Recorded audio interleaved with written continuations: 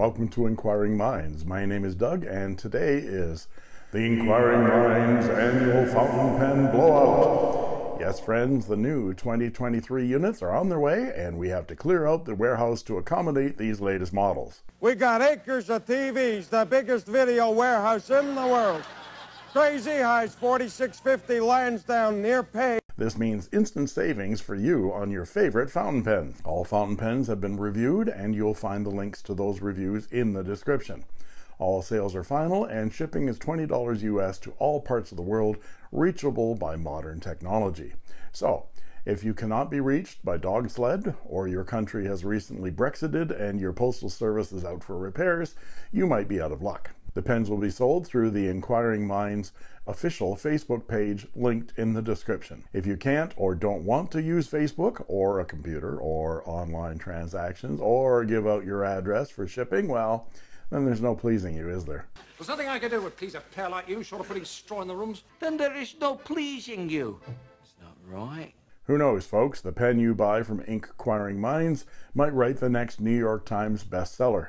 Your literacy level may vary. I'm trying to teach the cavemen to play Scrabble.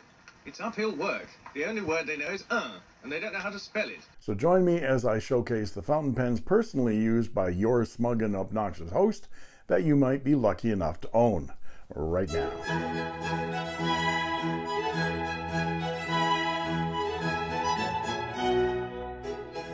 So here we go. I'm going to group the pens into three categories. One, vintage pens, two, expensive pens, and three, Chinese pens.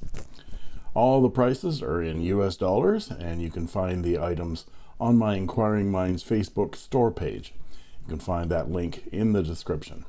So let's look at the vintage pens first, as there are only two of them. And if you've been following my series called Pen Resurrection Sundays, you'll know that I'm trying my hand at restoring vintage fountain pens. And these are two fountain pens that I've restored that I'm very proud of. They both write extremely well. The first is this 1925 Wahl Eversharp 641A with a gold filled cap and barrel and the unique check engraving pattern. This was made in Canada and is rare. It's a lever filler, and I've installed a new sack and cleaned and polished the body and the beautiful 14 karat gold, very flexible number 4 nib. I'm not going to do writing samples for all of these pens, but this one you needed to see because it writes like a quill. So it's very flexible, and I've only dipped this pen in the inkwell, so it might run dry, but let's give it a try. 641A 14 karat gold. Very bendy nib.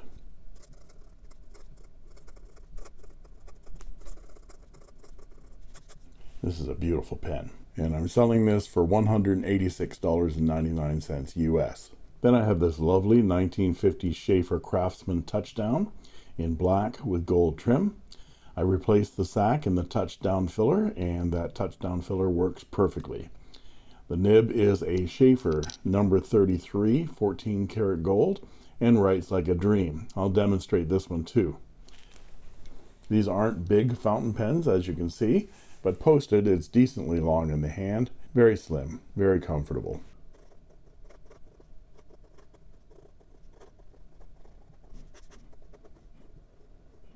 Again, very bendy.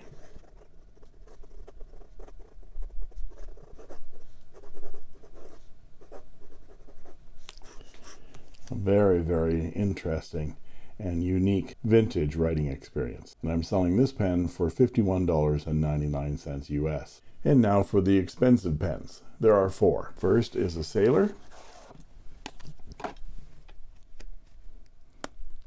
The very nice Sailor 1911 large in black with gold trim. And it has a very, very nice 21 karat gold Sailor 1911 nib. And this is in a medium fine which is nicely bouncy. And it comes with the box and all the documentation. And I'm selling this for $145.99 US. Then we have this lovely Lamy Palladium Studio, and it has a beautiful 14 karat gold Lamy OM or oblique medium nib. And this is just a beautiful writer. And it comes with a Lamy converter, the large Lamy box, and all the documentation. I'm selling this for $129.99 US. And then I have a Visconti. There's the box. Comes with the documentation, the Visconti pillow, and here it is. Comes with all the documentation. This is the Visconti Mirage in aqua blue. Lovely fluted acrylic pen, the magnetic closure, and number five size steel Visconti medium nib. And I'm selling this pen for $89.99 US. And next up, this is an older Faber-Castell Loom with a blue cap. It's a number five size steel medium nib, and it comes with a Faber-Castell standard international converter. There is no box with this, but the pen is in mint condition and writes extremely well. And I'm selling this pen for $33.99. And here's a last minute entry. This is my Pilot Falcon, and it comes in this box. There's the pen. This is in excellent, excellent shape. I think I used it for the review, and that was it. Beautiful gold and black plastic Falcon with a 14 karat gold Pilot Soft Fine nib, that unique Falcon shape. It's a lovely fountain pen, and I'm selling this one for $170 US. And now on to the not so expensive, or to put it another way, the Chinese pens. Correction, one of the less expensive pens is actually a Japanese Pilot. And this Pilot Prera in blue. It has a steel medium nib, comes with a Pilot Con 40 converter, and it's on sale for $35.99. And I have three Moonman Majohn pens, two Jinhaos, three Hongdians, and one Pen BBS.